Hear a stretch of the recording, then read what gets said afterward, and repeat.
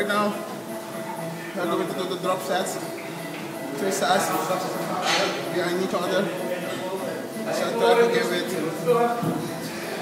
24 kilos, 10 reps. Then I try to go to 20 kilos, 6 or 8 reps. Then I try 18 kilos, also 6 or 10 reps.